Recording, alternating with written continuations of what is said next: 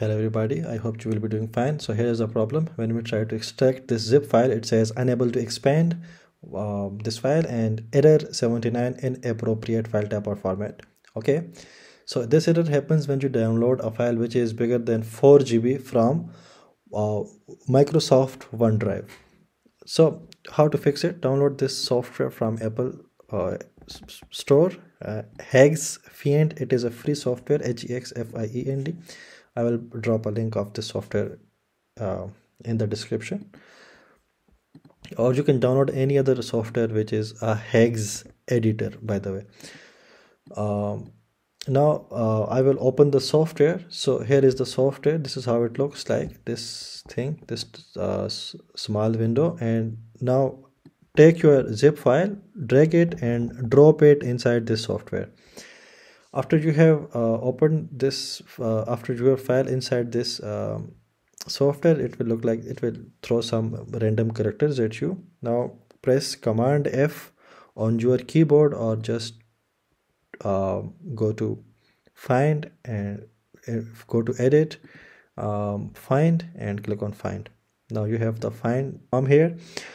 You will have to type the characters which i am showing you here please uh, remember that if you type something if let's say i am typing y or let's say i am typing 7 it, it will type 0 7 and if i type 9 it will become 79 so it, it will behave a bit weird but ignore that.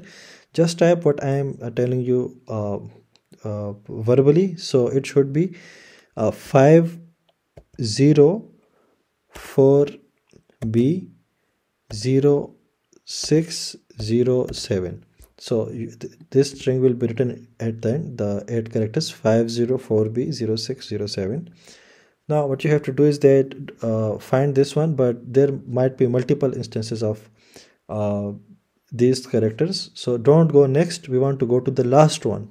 Uh, so you will have to click on the previous button. Click on previous and here it is. You can see 504b0607 same characters we have found. Now click right arrow key 13 times. Please uh, ma make sure that you type it 13 times no more no less. So when we click uh, right arrow key one time it will jump two characters. So it means that if we click on the right arrow key 13 times it will jump 26 characters. So let's start it.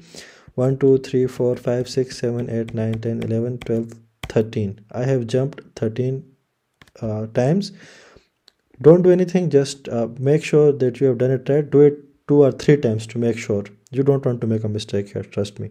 1 2 3 4 5 6 7 8 9 10 11 12 13 13 times we, we have jumped.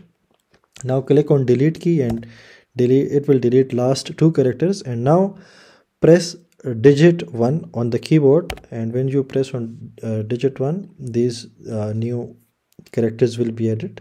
Uh, 0 0 is deleted basically and 0 1 is added now.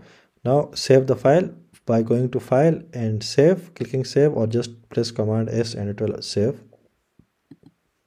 Now come back to the file double click it and it will start extracting. See